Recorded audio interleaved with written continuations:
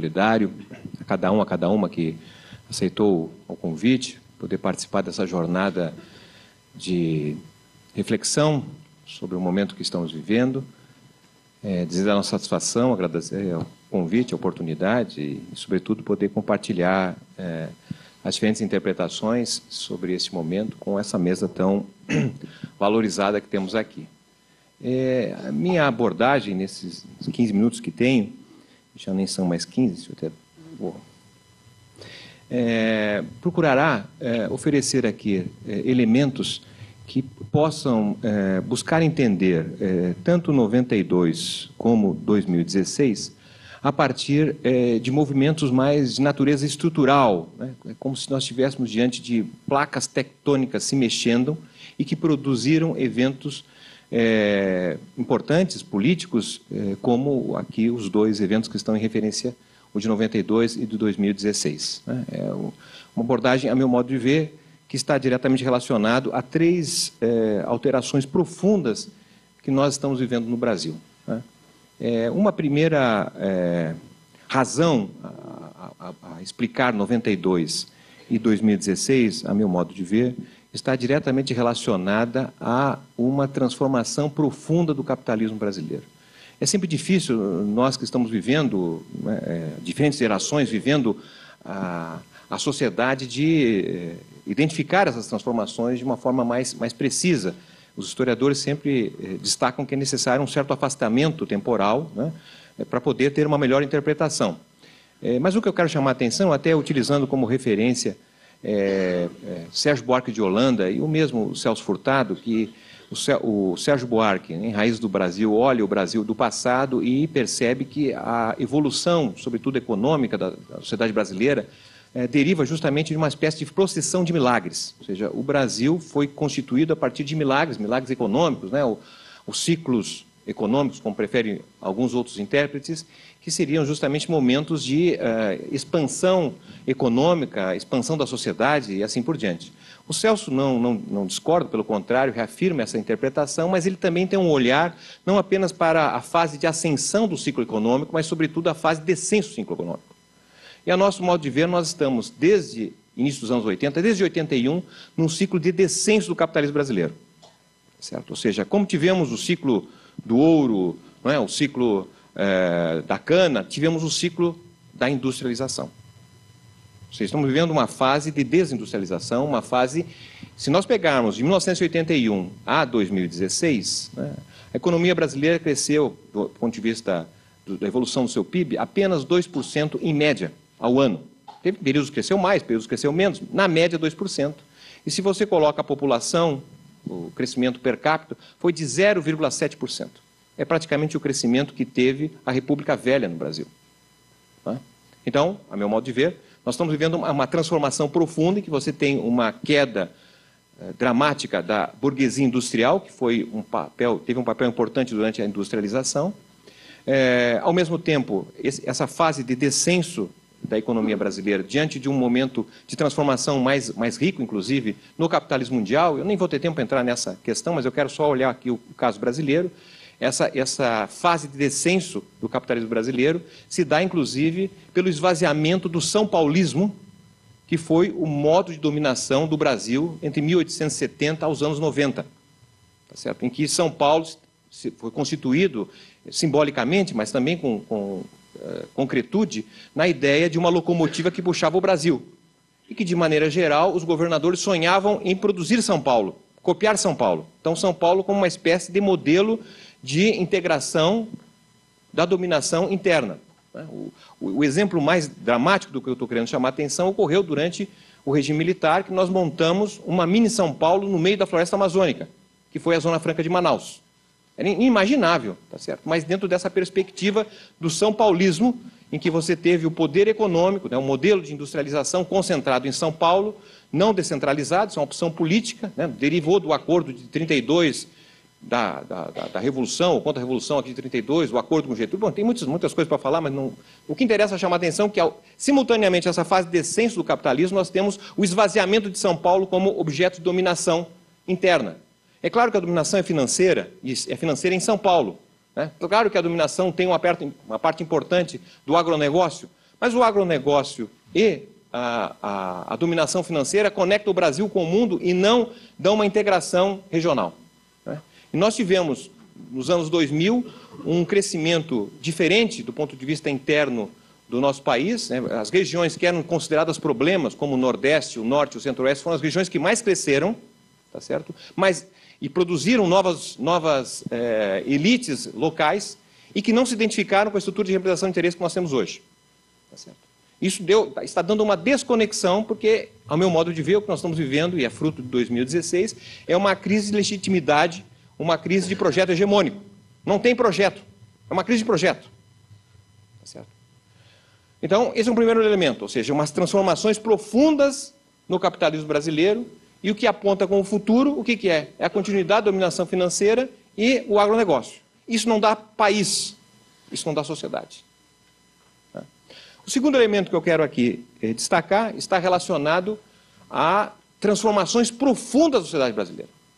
Transformações que colocam questões novas ao qual o mundo da política, o mundo do sindicato, o mundo das, das instituições estudantis, o mundo que foi constituído de representação de interesse não consegue conectar. Tá certo? Há um, um descolamento das instituições de representação de interesses diante das transformações da sociedade. A sociedade não se vê representada nessas instituições. Tá certo? Isso dá um vazio enorme, né? um descrédito da política gigantesco. Na política, para dar o exemplo do concreto dos partidos, mas não é, são só, só os partidos. Você podia falar dos sindicatos. Né? Nós tivemos nos anos 2000 22 milhões de empregos gerados, isso não significou ampliação da sindicalização, que se manteve praticamente a mesma. De cada 10, pesquisa feita por nós aqui em São Paulo, de cada 10 trabalhadores que ascendeu a um emprego, certo? somente dois filiaram ao sindicato. Dos oito que não se filiaram, quatro dizem que não se filiaram porque o sindicato é um bando de pelego, só estão pensando neles. Dos outros quatro, que disseram, não, o sindicato é coisa importante, é fundamental para a organização da nossa classe. Nossa... O problema é que o sindicato nunca passou aqui no lugar onde eu trabalho, eu nem sei onde é que é o sindicato, eu sei o endereço da Justiça do Trabalho, mas do sindicato eu não sei. E podia falar de outras, eu não vou aqui cansá-los, abusá-los, mas o que eu quero chamar a atenção é que há uma mudança na estrutura da sociedade brasileira. Que mudança é essa? A primeira mudança né, diz respeito justamente à questão da transição etária. Tá Nós tínhamos em 1990, quando foi feito uh, o impeachment do Collor, 34% dos brasileiros tinham até 14 anos de idade. Hoje nós temos 21, 20, quase 22% da população com até 14 anos de idade. Em 2030 serão 12% da população com até 14 anos de idade. Certo. Nós vamos ver uma fase inimaginável que começará a sobrar escolas, o que daria condições agora de implantar um sistema de ensino de qualidade, integral, de tempo integral. Tá certo? Mas o que está ocorrendo é que, na verdade, estão fechando escolas. Uma sociedade que, de certa maneira, aponta por uma outra perspectiva, né?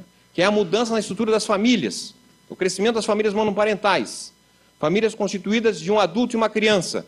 Esse adulto, geralmente, uma mulher, quando não um idoso. Famílias, estruturas de famílias que, não, não na verdade, reconstituem a sociabilidade.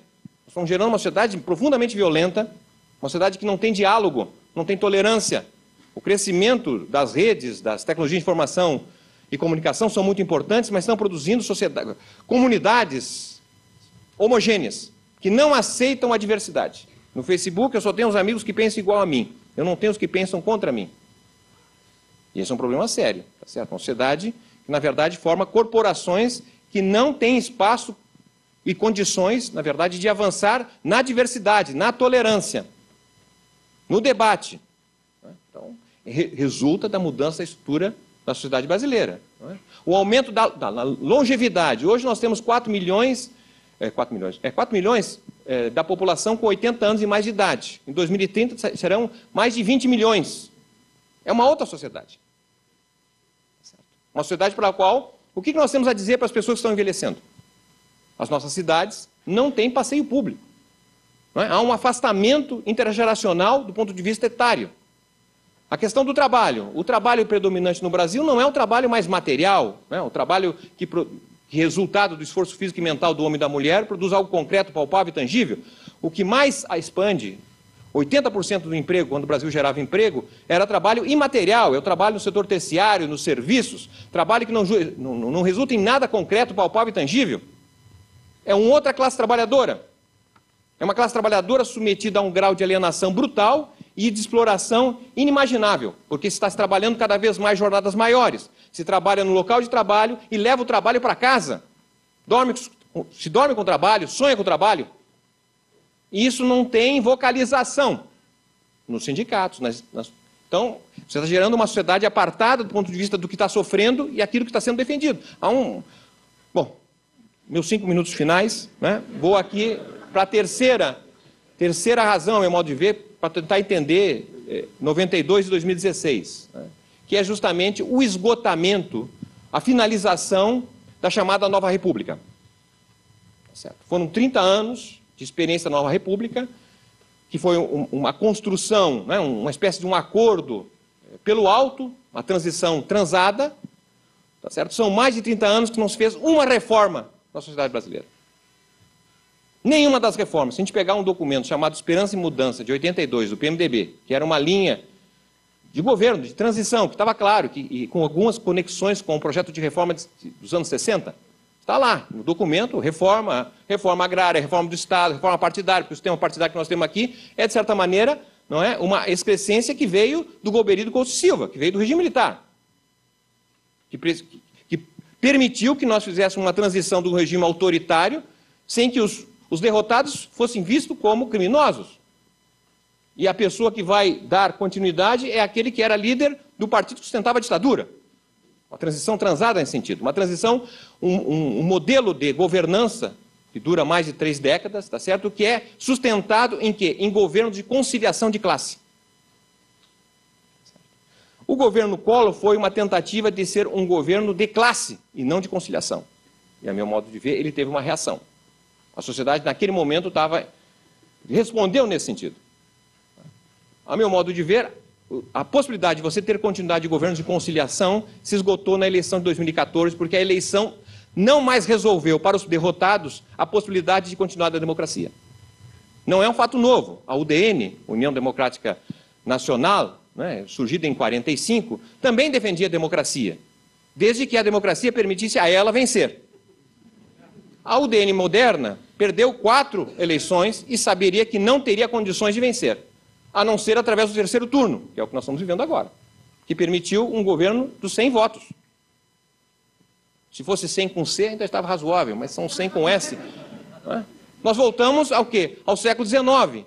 O que, que, é, o que, que foram os governos do século XIX, ou pelo menos o, da República Velha? Né? Eram governos de homens brancos, porque também não tinham voto, era democracia censitária, votava 3% da população, tudo eleições fraudadas, tá certo? em que o objeto da eleição, o que é objeto da política, não passa aos interesses do povo. Tá então, a meu modo de ver, há um esgotamento da possibilidade de governo de conciliação. O que está sendo feito agora é um governo de classe, tá certo? que deixa de fora os vários setores e coloca, como bem frisou aqui o Ciro, em xeque a Constituição, não é toda a Constituição, é uma parte dela. Porque a Constituição, de certa maneira, é resultado desse acordo que permitiu a transição da ditadura para a democracia. Lá tem dois, duas questões, para mim, estratégicas. Está dito duas coisas seguintes. As despesas financeiras são incomprimíveis. Tanto é que a proposta do, do Temer é que as despesas primárias, que são aquelas que excluem as despesas financeiras, deverão seguir no máximo ao limite da inflação. As despesas financeiras estão livres para crescer a quantidade que quiser. Isso está na Constituição. O Banco Central faz o, a, a, proposta orçamentária do giro da dívida e manda para o Congresso e ninguém diz nada. É imexível, como diria um grande ministro do Trabalho do, do governo do Collor, do Collor, né? que saiu do governo porque disseram que ele andou usurpando 30 mil dólares. Né? Então, Faz muito tempo, né? 92, inflação e tal. É, então, ali se demarcou que o rentismo estaria sendo financiado e justificado com base na Constituição. E, ao mesmo tempo, para soldar essa, esse acordo num, num, capitalismo que não cresce, tá o que soldou foi justamente a possibilidade de você fundar os recursos para a área social. A Constituição de, de, de 88 ela abre os complexos da Seguridade Social. Esses dois eventos significaram necessariamente a ampliação do papel do Estado como grande transferidor de recursos. Porque o Estado, de certa maneira, é um intermediário, ele arrecada e distribui. É, retirando o custo que, que, que significa esse trabalho, esse serviço de arrecadar e de distribuir. Então, para viabilizar isso numa economia que não cresce, o que foi feito? Foi feito um aumento substancial na carga tributária. Nós saímos uma carga tributária ao redor de 22%, 23% do PIB e vamos uma carga tributária de 35% do PIB. Esse aumento na carga tributária, 12 pontos percentuais mais ou menos, significou 60% para ampliar o gasto social. Nós saímos de um gasto social, quando encerra o regime militar, em 13% do PIB e vamos ao gasto social que representa hoje 23% do PIB. E saímos de uma despesa com juros de 1,8% do PIB para uma despesa com juros com 8%, mais ou menos, dependendo do ano. Ocorre que eles sabem que nesse modelo que nós estamos hoje de capitalismo não tem crescimento possível. Essa tem um crescimento medíocre. É um voo de galinha. Portanto, o que está em jogo, a meu modo de ver, é, nessa proposta de redução ou de colocar as despesas não financeiras para crescer no máximo de 6%, abrir uma oportunidade de tirar uma parte do social para sustentar o rentismo. Tá é isso, o DRU, a DRU, eu diria o seguinte, eu até aceitaria. Tudo bem, vamos ao pro, programa tema, aceitamos que, se, que a, todas as despesas do governo vão crescer até a inflação, que significa colocar os juros, o despesa financeira. Porque eles têm a Selic, que é basicamente o quê? A inflação mais um ganho real. Isso é o mínimo, porque outras formas de rentismo dão valores muito maior. Então, isso não foi colocado. Tá certo? Então, a meu modo de ver, é essa questão. Ou seja, nós estamos diante de uma crise de legitimidade que resulta de, dessas transformações. E essa crise também é uma crise de projetos para o país. Eu encerro aqui, né, dizendo que durante de 85 para cá nós não cons conseguimos construir uma maioria política estável. De maneira geral, são maiorias pontuais que atendem situações ali colocadas. Certo? Nós conseguimos fazer como o, o, ali em 30 se constrói uma maioria que vai basicamente até os anos 70. Essa é uma grande dificuldade, é? em que quando se mistura projeto de poder sem projeto de nação. E aí, para sustentar o teu projeto de poder, o que aconteceu nos governos de 85 para cá é tomar lá da cá. Isso se esgotou. Tá então, essa é a questão maior. Lutar para fora Dilma é o que nós precisamos fazer, tá certo? Venha. Fora Dilma, não. Ninguém falou nada? Pô, não. pensei que eles estavam prestando atenção. Ficou bem, ficou bem explicado. O contexto foi correto. Fora Temer, a meu modo de ver, venha Dilma, mas com outra política econômica. Certo?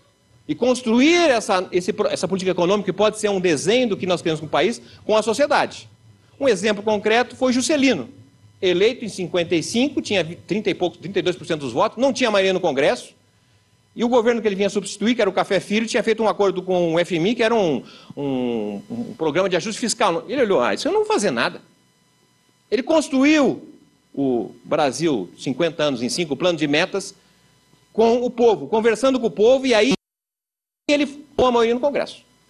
A Dilma tem condições de fazer isso. Certo? Nós estamos vivendo um campeonato nós tivemos uma primeira derrota. Ela não é definitiva. Ela pode ser superada logo mais. Vai depender da capacidade de nós continuarmos executando com força, com vigor, o que a sociedade viva brasileira é, mas mais do que isso, em torno de um projeto nacional. Muito obrigado.